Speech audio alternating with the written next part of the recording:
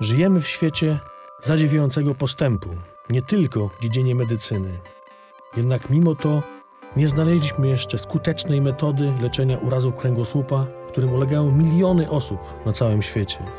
Ale nie poddajemy się. Dzięki nowemu podejściu, dynamicznemu myśleniu i zjednoczeniu wysiłków wszystkich narodów świata w końcu wygramy. Kręgosłup jest tajemnicą, ale razem znajdziemy rozwiązanie.